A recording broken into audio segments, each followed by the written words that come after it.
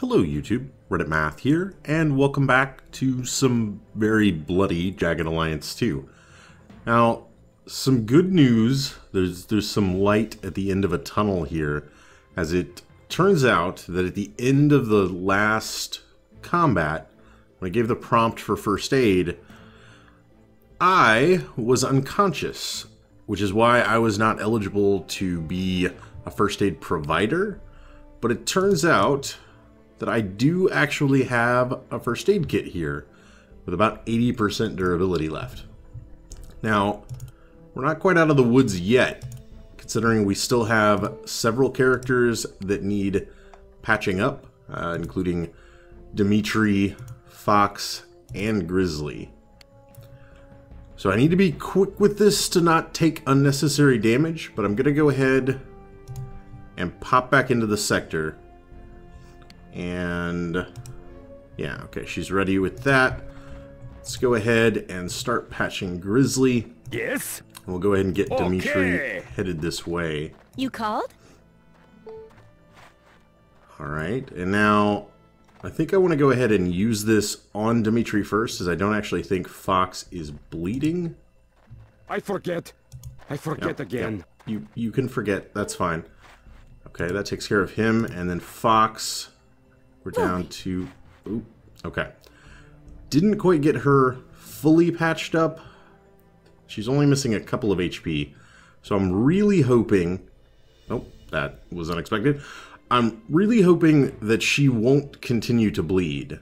Now, we'll come back to that in just a moment, but uh, we're being interrupted with a meanwhile prompt. Uh, anytime we completely take a city, we're going to get to see the reaction of our adversary here. So we'll go ahead and check out what the queen thinks of our liberation of Chitzena.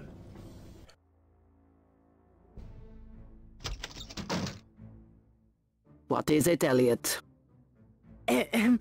Actually, Your Highness, it is rather bad. How bad, Elliot? And might I add that my nerves are especially edgy right now. Your Highness, these foreigners, these mercenaries, have overrun Chitzena. So far, however, ours has been a valiant effort. I am not interested in valiant efforts. I am interested in maintaining my power and making money. I can't make money if those mines are not mine. Don't you see? Elliot, you idiot! And as for those mercenaries, well, no. Obviously, they are more experienced than I had anticipated. Gather my advisors, Elliot. I'll send these pathetic rebels and their goons a surprise they are not likely to forget. You are becoming synonymous with trouble, Elliot. As you command, Your Highness. This is why you never wake anybody up at 1 o'clock in the morning to give them bad news. I mean, they're just going to be cranky. Alright, so we've got a surprise headed our way. That's that's nothing good. No, nothing good is uh, is going to be headed our way to surprise us. So we're gonna take a little bit of a withdrawal here from our current position. Uh, you can look at this on the bright side as some hit and run strategy, but uh, I don't think we're going to be able to stick around in Chitzena, largely just due to our squad's condition. Without medical supplies uh, to get us back up and healthy, what we're probably expecting here is for troops to go on the march out of Meduna. Uh, so it might take them a day or two. We could harden our position here and you know be prepared to, to fight them. But we don't have anything to heal up with. We're low on supplies and ammo and everything else, so I think it makes the most sense to get out of Dodge while the getting's good. Now, with that in mind, there are still a few things to do in the city, so we're going to want to go ahead and do that quickly uh, while we still can. And then, even though we're pretty severely injured, uh, we're going to have to, head out. We're probably going to end up falling back to Drassen and the airport to wait on our supplies to arrive. Uh, I believe I sent them with standard shipments, so they may still be a day or two away, but it's not exactly like the road there is safe or anything, so it may take us a while of juking and jiving uh, just to make it intact.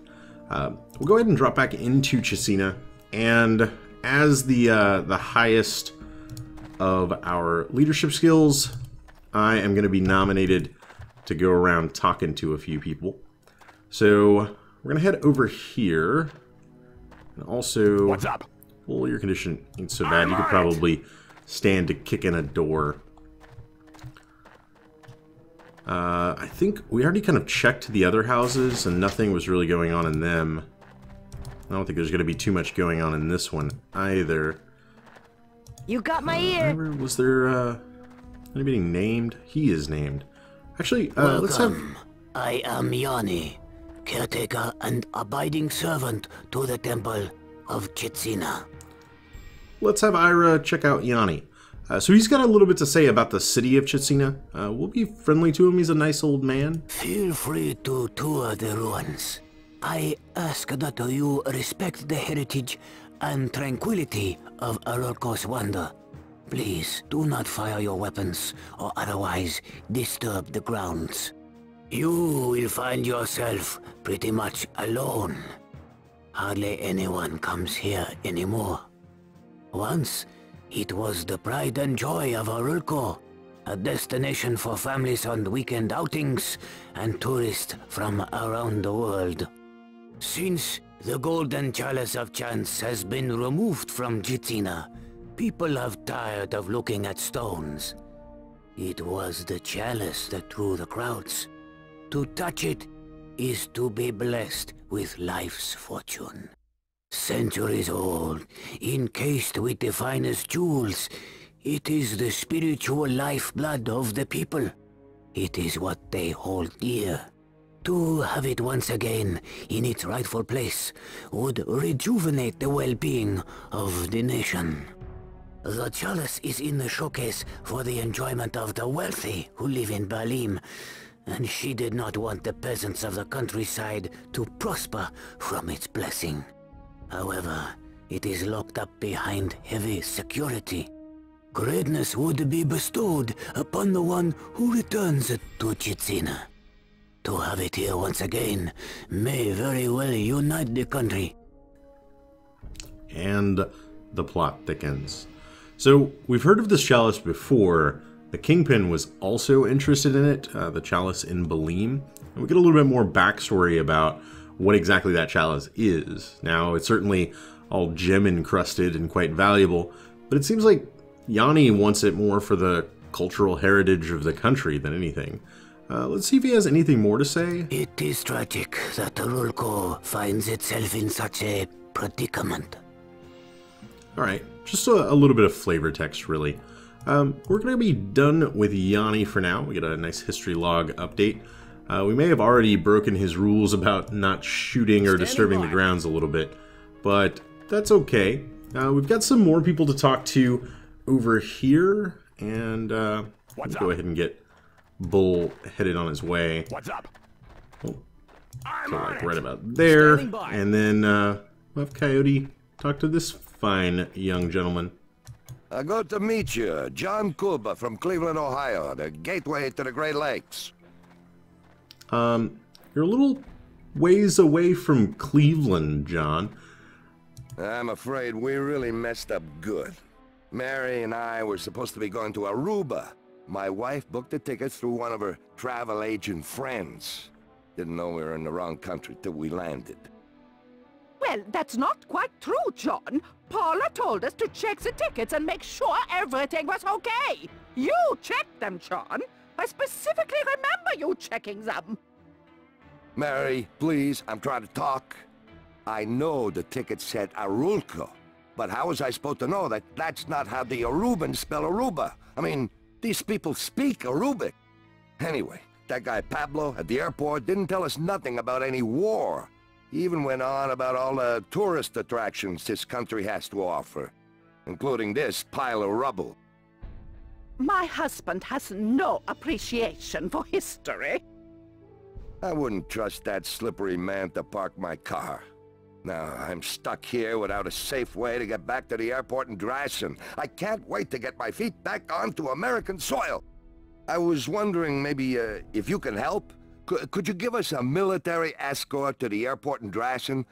I'm sure uh, somehow or other I can compensate you for your efforts. Now that just might be something I could help out with. Uh, let's go ahead and escort John and Mary now, they join our party, but we, we don't exactly get yeah. full control over them. Like, I can't go into their inventory. Um, they're holding a little bit of money and nothing else. But I can move them around now, which is nice. And I'm going to go ahead and do that, mostly to get Mary out of the way of this chest back here. And then we're going to send Bull in, gotcha. check it out, maybe pry it open, see if there's any delicious goodies inside. So uh, John and Mary unfortunately misinterpreted Arulco for Aruba, you know, because they speak Arubic there. Oh man, nothing.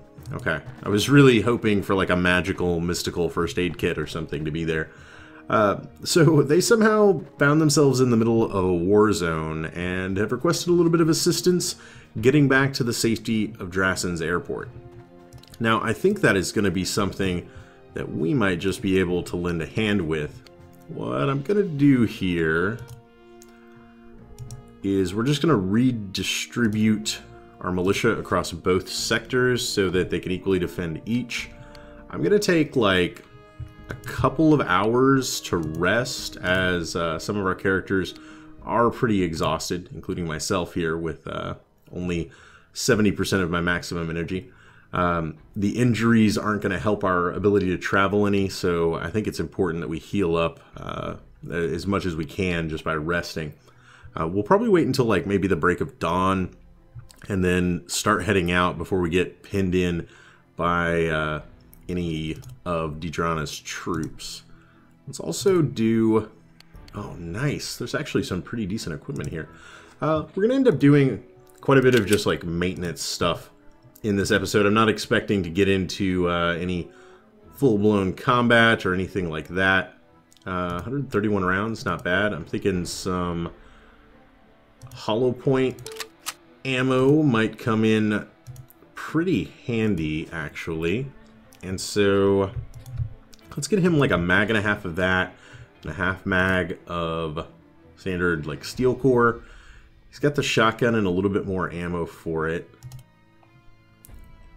Fox. I'm thinking of who uh, we want to give the Type 85s to.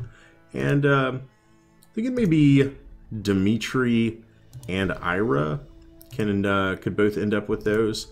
Um, let's go ahead and pass Dimitri's handgun with no more bullets in it somewhere else. We'll give that to Bull to put in the pack. And then Dimitri's got this. It's going to take, what, 762 by 25, which is like a submachine gun caliber. Quite a bit of ammo for it laying around, so that is fine. And, uh, you know what, we'll spread this through some, like, back pocket action. The submachine gun rounds not going to fit there, but I could get three more of them there. And then basically the same for Ira. We can kind of rely on the submachine gun's ability to uh, spray and pray to alleviate some of our lower marksmanship abilities. All right.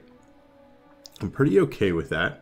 Uh, there's also an HK 40 cal.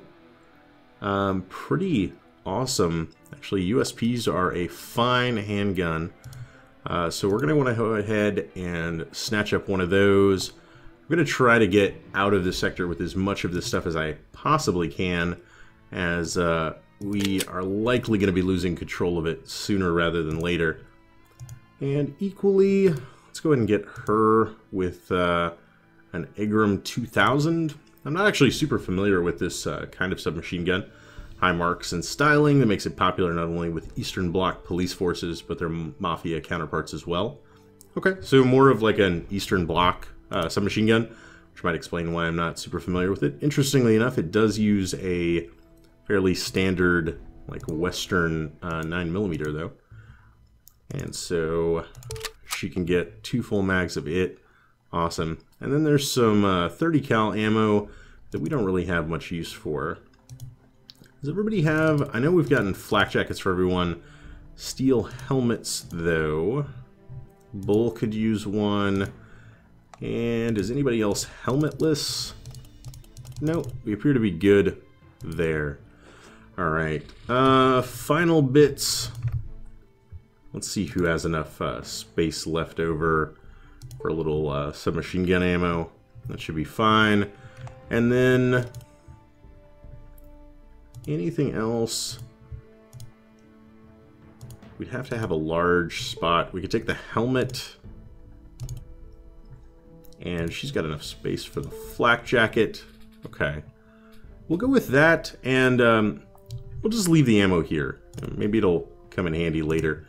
Uh, everybody who needs to is taking some nap time right now. We'll give it uh, maybe like two to three hours. Am I the lowest on energy? I think I may be. Yeah. Alright, so as soon as I am at like, say 80, should be okay. And it only updates like at the hour. That'll so show him. I guess it's to 78. We'll give it to 4 a.m. and uh, then we'll get cracking out of here. And there we go. So I am the only one still resting, but I'm up to 82%, which is definitely enough for me to get a move on. I'll just be a little groggy. Never really been a morning person. You can't blame me.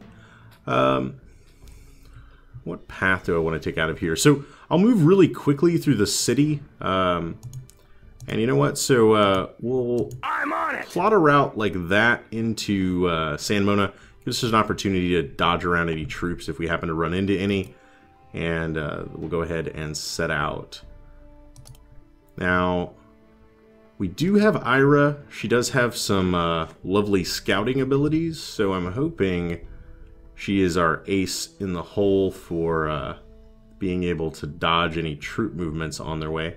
Uh, also, we've you know only been resting a couple of hours, so I would think at most these guys are like here. Um, it should be maybe nightfall before they arrive anyway. in uh, in Chitzena, so we should be okay on that front. Um, once we can get into San Mona, I think we'll take a brief trip by Tony's to sell a few things, and then hope for a relatively uneventful trip back to the Drassen airport. At this point, I'm pretty much just excited that we're all still alive. Get in the wall here.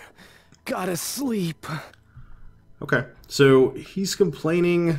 I think he'll probably give us one more sector, though. Uh, if we can get here, I think we can get him into San Mona before he just collapses on his feet.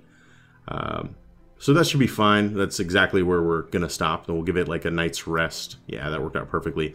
Also, that sector is occupied, so glad we didn't go through there. I think the actual road, as you can kind of see on the map, comes down through here.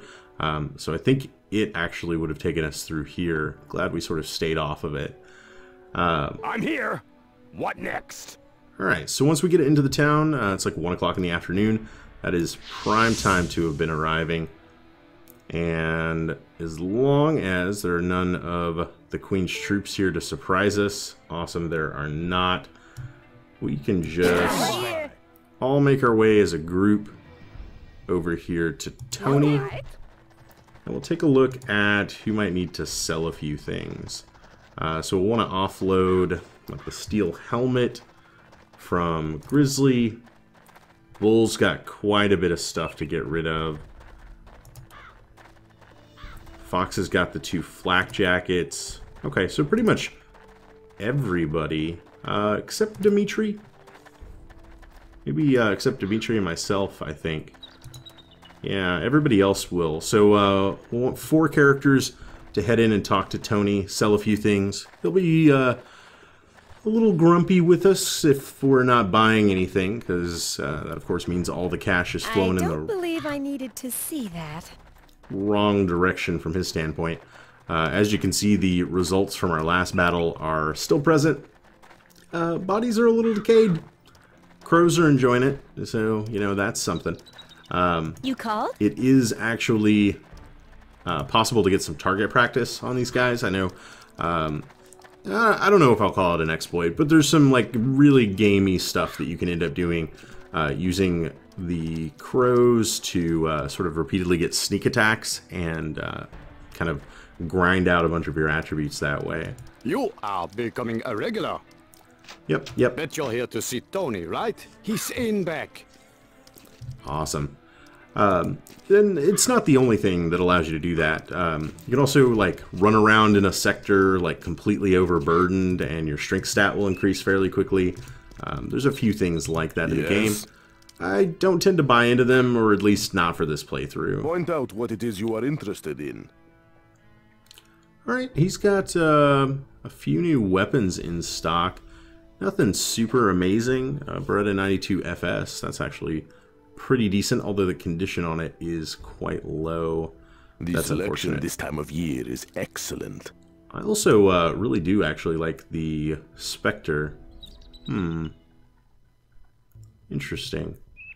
Um, I think I'll pass for just right now. Uh, we'll focus on just offloading our supplies.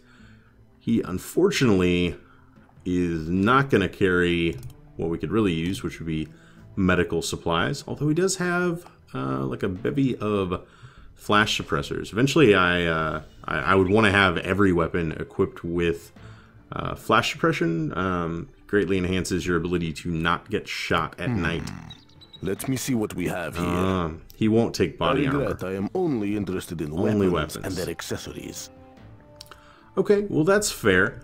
Um, I tell you what then, as long as we're here, we'll go ahead and buy a flash suppressor from you, and we'll pop it on our new submachine gun here. All Very right. good. You know where to find me if you are interested in doing more business. Indeed, I do. Uh, that'll be it for Fox. I'm Fox. into it. Let's see. What's so up? Bull, Bull, you have guns to sell. I'm on it. We'll get you in here, and you'll be the one to make him grumpy with uh, these Makarovs. And um, I think I'm going to go ahead and get rid of the Desert Eagle. Uh, it's such a non-standard ammo type for where we are in the game. Uh, 357 is just really difficult to come by. Um, and it's kind of a clunky weapon overall. Um, I prefer the increased number of shots versus uh, the single high-powered rounds. Point out So what it is you are interested in. we'll get rid of the two see what Makarovs. we have here. There is value to this. I will pay a fair price. Decent, um, like 245 and Desert Eagle, and then we might as well offload the 9x18 ammo for it. We'll hold on to the 9 millimeter. Now, The deal is done. Anything else? Yeah, he's not super thrilled about that, but I am $783 richer. Very good. You know where to... I do, I do. I'm Go on ahead and get him out of there, and we'll stick that in our main wallet. All right. Who else do we You have? got my ear. Ira. Um, I actually kind of really like the HK USP. Do I want to offload it? I might hold on to this and end up giving it to like one of our uh, other troops Standing that doesn't by. have a particularly great gun. Yes? Um, Standing by. Standing by. I already sold one of the 357s. I'm still like completely out of ammo. Uh, you know, why not? Okay. We've got uh, Grizzly rocking a pretty fantastic condition HK MP5 A4. He's been using it for a while. Uh, if we do end up switching him back to a pistol, you know, we've got something like the HK 40 cal. Uh, we could always give him one of those. So we'll sell this as well. Hopefully get a good price. Point out what it... Hmm. Yeah, Let 44. me see what we have here. There is value to this. I will Lovely. pay a fair price. The deal... Very good. Yep. You know... All right, same dialogue. Okay, and uh, just pop back in here for a quick overview of everybody. And I think that was pretty much everything we wanted to get rid of. Um, we've still got some flak jackets and Kevlar that we can't offload. Uh, you know what? Ira is going to go ahead and sell her 38 as well. It's like the most pointless gun. Um, yeah, there's no reason to hang on to that. So let's go ahead and get uh, Ira in here. And she will be the last one. And then we're going to let our uh, guys get a little bit of a rest break. And then hopefully smooth sailing back to Drassen. I'm on it. Is the goal anyway. Um, if we can get there, then we're probably looking at maybe a couple days rest. Hopefully the medical supplies aren't too far behind us. And uh, then we're probably looking at the fall of Chitzena relatively soon, like in the next day or so. in. All right. Uh, 38's Let Man, me see what we have here. worth like just as much as the There Desert Eagle. That's I will pay kind of silly, actually. price. Oh, he doesn't do holsters. Okay, he doesn't do any of the load-bearing equipment, just the guns and ammo themselves. Fair enough. Excuse Man me, knows you what he likes. forgetting your stuff. Oh, The deal is sorry. done. Anything else? I know, I know. That's fine. Very right. good. So I'd say that was totally worthwhile. Um, I, I didn't make note of exactly how much money we had beforehand, but uh, I'd say we cleared a couple of grand off of just selling some unneeded weapons uh, back to Tony. So that will totally work for me. All right, now we're looking at getting another rest break in here. And I'm probably still going to be, as the most injured, I think I'm probably draining the most energy moving around. Uh, so I'm at like 37. Yeah, like lots of guys are basically full. I'm just... The enemy is present. Nope. I'm just sucking it up, uh, moving around with such grave injuries. Um, I would love to be able to auto-resolve. Unfortunately, they don't have any medical supplies, so if they take any damage in the auto-resolve, they'll die. Uh, which means I'm going to have to end up going to the sector so that, you know, Biff and Flo can bravely command our troops while cowering inside of the, uh, the bar. I'm not going to force you guys to watch this with me, though. Uh, this will be like the third or fourth time this has happened so far. Uh, these guys are just dutifully training a replacement militia to kind of butt heads against the grinder of Deidranna's forces.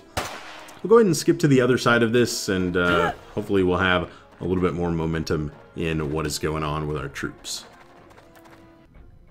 And welcome back, guys. So, the defense of the Drassen Mine went okay. Uh, we lost about four militiamen, killed 10 of Deidranna's troops, so I'd say that's a pretty fair trade. Uh, we're also racking up like a pretty decent haul in this sector of guns and ammunition specifically. Uh, so I don't think small arms are going to become a problem anytime soon. Uh, so that's nice. Uh, we've still got a little bit of resting up to do before moving on with these guys. So uh, we'll go ahead and just speed up time a little bit. We're really, uh, again, just sort of looking for Coyote's energy um, to get up to, to traveling distance. He was only able to make it like one, two, three, four, five squares. One, two, three, four, five. So we could get into Omerta and maybe rest there for a turn uh, before pressing on. They've got a pretty decent line of troops sort of happening over here. Uh, so I'm thinking we may not be able to sneak through this without uh, having to get ourselves into a fight. Uh, did notice something and went ahead and paused. So we've spotted some troops approaching Chitzena. Uh, each one of these little blips with like the corner that's kind of shaded there, I believe is representative of 10. Um, so that's that's real not good. Uh, we're looking at like 60 guys approaching. That's probably not something we could have repelled even had we stayed in the town. So uh, I'm not exactly super disappointed about leaving there. I'm going to say that was probably the right decision to have made. Uh, I would expect they're probably going to hit them either before nightfall or a lot of times uh, the enemy, yeah, they did get in before nightfall. Um, a lot of times they'll end up camping out and waiting until daybreak again, uh, which would have been nice. We might have gotten a, like another tick of sector income from it, but that's fine. Uh, we'll go ahead and okay this, and we're gonna see, yeah, 10 versus 60. Uh, this is going to go swell for us. Uh, I'd actually be surprised if these militia managed to kill even a single unit. Go ahead and speed things up. Oh, they did manage to kill a single unit. Ha! They, they didn't make it out unscathed. This ain't no fun at all. Now, of course, losing the mine sector reduces our daily income. Also, uh, as you heard from Razor there, you know, his uh, morale also took a, a, hit from that. Everybody else is still doing pretty okay. Um, I guess Razor just really had it in for that mine. Um, Fox and Ira are a little bit low as well. But, uh, you know, we'll persevere. Things will go on. I, uh, I, I, think we'll end up being okay. We know sort of what's in store for us as we come back into Chitzena later, though, and it's certainly not going to be an easy fight. I tell you what, uh, with the amount of time this has ended up taking, I think we're going to go and break this one up here. Uh, next episode, we'll probably be doing the hopefully exciting conclusion to uh, John and Mary's trek uh, over here back at Adrassin. Hopefully, it's not that exciting because uh, I don't want them to get into uh, combat sector. Um, they definitely have no ability to fight back, and that would be very bad. So uh, we want to get them as safely and quietly back to the airport as we possibly can. Um, we should be able to do that next episode, and then probably just as soon as our supplies uh, show up, we'll, we'll start healing everybody up and uh, getting ready to secure Drassen and then I don't know. We might make a like a move on Chitzena again, or we may just leave it for the time being with its well fortified troops that are in it and uh, head down to Cambria. Uh, but that'll be a decision for another time. I hope you guys enjoyed this episode. If you did, feel free to subscribe for more videos daily. Leave a like or a comment if you have anything to say about this or any of my other episodes, and I will catch you guys next time.